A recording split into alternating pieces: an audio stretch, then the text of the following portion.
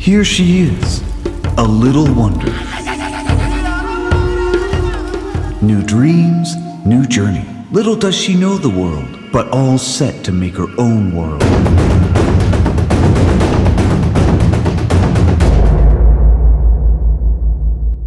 A country she's new to, people she's never spoken to.